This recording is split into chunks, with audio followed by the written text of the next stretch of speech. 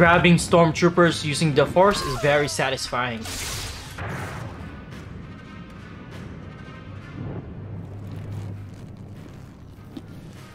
Like this video for more VR related content.